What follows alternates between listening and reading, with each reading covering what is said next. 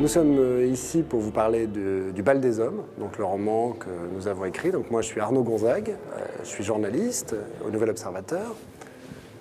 Moi Olivier Tossery, journaliste Canal Plus et iTélé à Rome. Donc c'est un livre qu'on a écrit à quatre mains.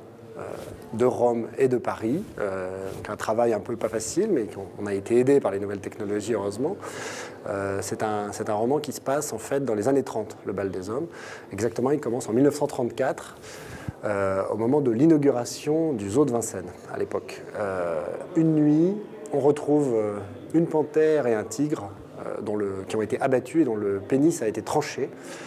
Et les autorités pensent que ces pénis-là vont aller euh, rejoindre un trafic d'aphrodisiaques destiné aux homosexuels parisiens.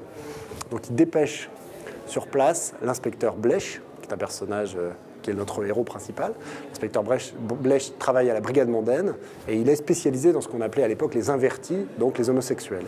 Donc son enquête le conduit euh, dans le milieu homosexuel parisien de l'entre-deux-guerres et nous plonge, nous aussi lecteurs, dans ce monde-là qui finalement est, assez peu connu on, y croise euh, les personnages hauts en couleur de cette époque, on y croise les lieux fétiches, et on entre notamment dans un lieu important de cette époque-là, qui est le Palace, qui est une salle de spectacle très importante, tenue par un homme de spectacle, qui était aussi un homme politique, qui s'appelait Oscar Dufresne, qui a vraiment existé, et qui était un homo flamboyant euh, de cette époque-là, qui a été, ça c'est un fait historique, il a été assassiné euh, en septembre 1933 pour des raisons que l'histoire officielle n'a jamais euh, élucidées.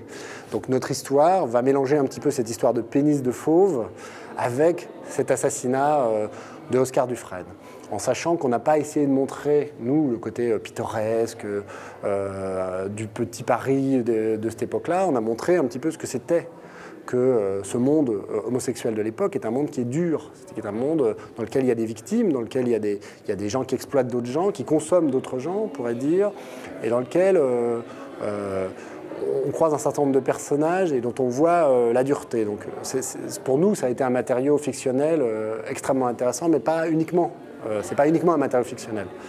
Si le bal des hommes, évidemment, c'est une fiction et pour qu'elle soit le plus réaliste possible, la plus exacte possible plutôt euh, sur le plan historique. Euh, on s'est euh, plongé dans les archives, on a épluché les archives de l'époque, que ce soit la presse, que ce soit les notes de la police des mœurs. On a également lu les ouvrages spécialisés sur le, le milieu homosexuel. On l'a fait avec d'autant plus de plaisir que tous les deux on est passionnés d'histoire et on a beaucoup aimé explorer les années 30, des années de crise, des années écrasées par deux catastrophes, celle de 1914, celle de 1940, en suspens entre euh, le souvenir de l'une et la prémonition euh, de l'autre, euh, qui, qui sont des, années, ces années 30 de stagnation où, la population a cette sensation de grandeur qui s'effrite, cette peur du déclin, une société profondément divisée, une époque qui, a un écho évidemment avec la nôtre. on a mis dans ce roman un peu tout ce qu'on aime, que ce soit la psychologie et l'écriture de la littérature entre guillemets blanche, l'intrigue du roman policier, euh, mais aussi euh, euh, une, ambiance qu'on peut qualifier de, magique. Il y a des clins d'œil aux, auteurs qu'on aime, Louis-Ferdinand Céline, Emmanuel Bove, des auteurs évidemment années 30. il y a une note fantastique qui vient de, nos influences, la bande dessinée en particulier, je pense aux albums de Tardy, qui mélangent le, réalisme hyper minutieux du dessin et en même temps cette note euh, magique euh, de, l'album.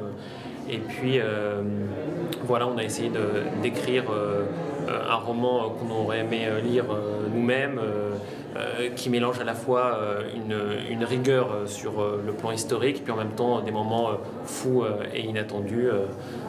voilà. On espère que les lecteurs l'apprécieront.